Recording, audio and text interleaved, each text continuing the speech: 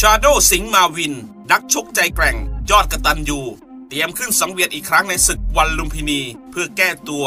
โดยจะโคจรมาพบกับเอริกเฮเออร์ นักชกหน้าใหม่ฟอร์มแรงจากสวีเดน ภายใต้กติกามวยไทยรุ่นเฟเธอร์เวท 145ถึง155 ปอนด์ในศึกนัดยิ่งใหญ่ ONE ลุมพินี 58 ในวันศุกร์ที่ 5 เมษายนนี้ เปิดโผคู่มวยเดือดออกมาอีกหนึ่งคู่สำหรับชาโด วัดฝีมือกับเอริก ที่จะเข้ามาเสริมทัพ อัปดีกรีความเดือดในศึกใหญ่นัดแรกของ ONE ลุมพินีปี 2567 ซึ่งอัดแน่นด้วยการประกบคู่มวยระดับแถวหน้าทั้งรายการ และยังมีเข็มขัดแชมป์โลก ONE เป็นเดิมพันสองเส้นในอีเวนต์เดียวกันสำหรับชาโด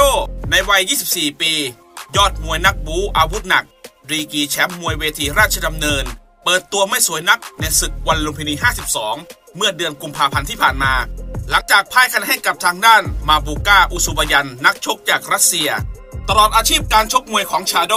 ชกมาทั้งหมด 88 ไฟต์มีผลงานไม่ธรรมดา ชนะ 75 แพ้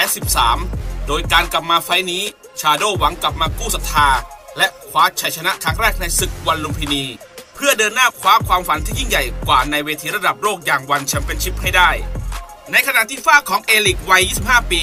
มวยหนุ่มชาวสวีเดน ที่ข้ามประเทศไปสร้างชื่อเสียงที่ประเทศไอร์แลนด์ เป็นเจ้าของตำแหน่งแชมป์มวยไทยของประเทศไอร์แลนด์ 2 สมัย และแชมป์มวยไทย ISKA ของสหราชอาณาจักร ซึ่งหมายมั่นปั้นมือที่จะมาเปิดตัวให้ปังในรายการแรกของ ONE ลุมพินี เรียกได้ว่าไฟต์นี้ต่างฝ่ายต่างฟิตซ้อมมาเป็นอย่างดี โดยตั้งเป้าหมายคว้าชัยและแจ้งเกิดในรายการนี้ เพื่อต่อยอดโอกาสความสำเร็จในอีกขั้น ต้องมาลุ้นกันว่าระหว่างชาโดและเอริก สุดท้ายใครจะเป็นฝ่ายได้รับการชูมือสำหรับศึก ONE ลุมพินี 58 คู่เอกนำรายการ ซุปเปอร์บอน สิงห์มาวิน อดีตราชันคิกบ็อกซิ่งรุ่นเฟเธอร์เวทวัย 33 ปี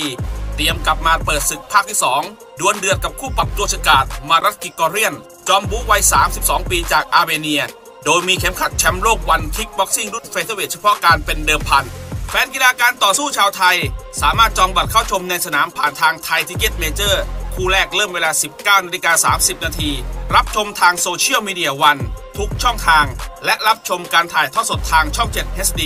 เริ่มเวลา 20นาฬิกา30 นาทีครับ